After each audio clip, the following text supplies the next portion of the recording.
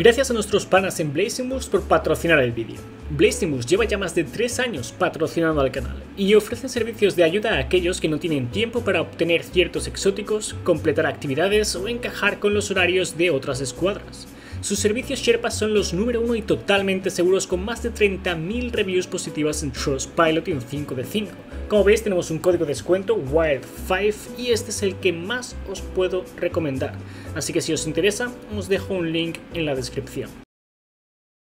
Bendiciones y bienvenidos a un pequeño pero importante vídeo. Ahora mismo estamos en el canal de Froggy. Shout out a Froggy. ¿vale? Uh, si no lo conocéis, ya he hecho varias menciones en el canal. Es un crack encontrando secretos y acaba de encontrar algo impresionante en la nueva misión exótica. Pasaos por, por su vídeo, ¿vale? Para verlo completo. Como veis, es súper extenso, 30 minutos en los que podéis ver cómo de hecho hace todas las cosas que hace. Son increíbles. Su canal encontraréis también un montón de secretos. Recomiendo checarlos, lo dejo en la descripción. Su nuevo descubrimiento es mucho más interesante, mucho más eh, eh, sorprendente incluso que el perro mecánico que estamos buscando. O sea, si no lo sabéis, hay un perro mecánico en la misión, aún no se ha obtenido, suponemos, ¿vale? Que se podrá obtener. Ahí, por cierto, se ve súper raro el viajero ahí de color marrón, ¿vale? se ve rarísimo, ¿sí? En, cualquier caso, como os digo, ah, hay un perro mecánico, ¿vale? Se supone, suponemos que se obtendrá al abrir la puerta final después de la puerta de los 50 drones. Ya os lo expliqué en el otro vídeo, checadlo si no lo habéis visto, pero lo que ha descubierto ahora es impresionante.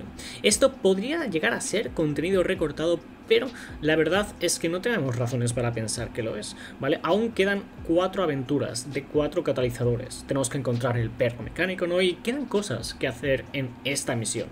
¿Vale? Como veis ahora mismo de hecho está en la operación Arquímedes, bueno, se ha glitchado a través de esa operación, ¿vale? No hace falta hacer la misión de, de revisión cero para poder llegar aquí haciendo los glitches que hace este mal, ¿vale? El caso, vamos a avanzar un poquitín más porque lo que ha descubierto básicamente es un área increíblemente grande. Si os fijáis, esta luz roja que veis aquí debe ser un teletransportador, ya habéis visto en otras ocasiones que hay teletransportadores similares, una luz roja en la misión que te teletransporta, pues es algo similar, ¿vale? Seguramente nos teletransportemos aquí a través de eso.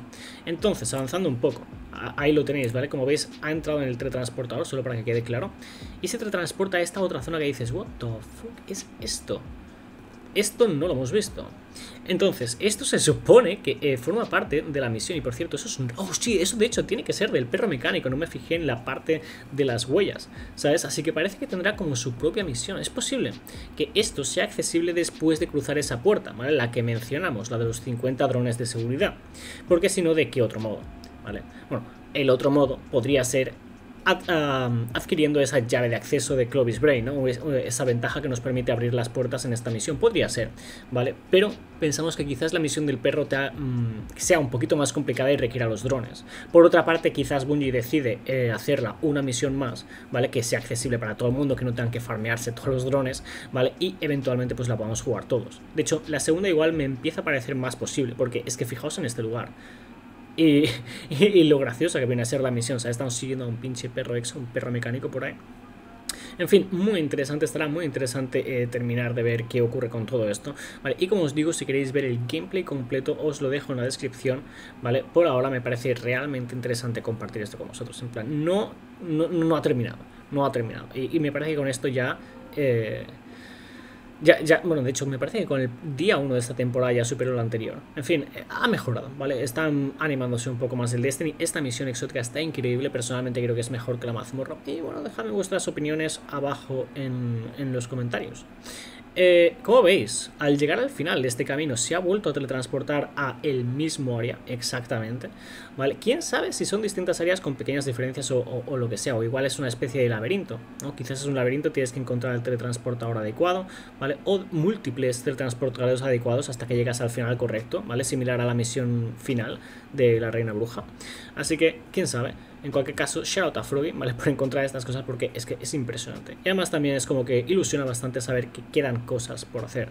Fijáis, este otro área también es realmente extensa. Ah, se llega aquí a través del mismo área en el que estaba antes, ¿vale? O sea, no es que haya, no se, no se ha glitchado, ¿vale? Es parte del mismo lugar. Y supongo que a través de aquí habrá que ir siguiendo al perro. Ah, me pregunto si iremos viendo al perro, es decir, si literalmente lo iremos siguiendo o si simplemente seguiremos el rastro de esas huellas que hemos visto. Como veis, es muy curioso el diseño de esta parte de la misión. Y si os fijáis, había un teletransportador a mano izquierda, que probablemente era un teletransportador trampa, algo que hay que evitar, igual que eso, ¿no? me da la sensación, me da la sensación de que todos estos teletransportadores que hay ahí son trampa y básicamente tienes que evitar caer ahí para evitar volver al principio y llegar al final correcto. Sigue bajando aún, ¿vale? Aún queda recorrido. Y eventualmente supongo que ahí es cuando encuentro al perro. Este otro área también es impresionante, o sea, la caída de aquí es, es interesante, ¿vale? Es interesante, me, espero bastantes fails de aquí, de, de, todos, incluyéndome, no os ¿sabes? Después de 8 años de Destiny sigo faileando. Y esta de aquí parece ser la última sala. Parece ser la última sala. Si os fijáis, hay esta especie de ventanas que tengo la sensación de que se abrirán y que podremos ver algo, porque parece muy raro que esté eso cerrado así de ese modo. Se ve extraño. Ah, en cualquier caso, esto parece ser la sala final.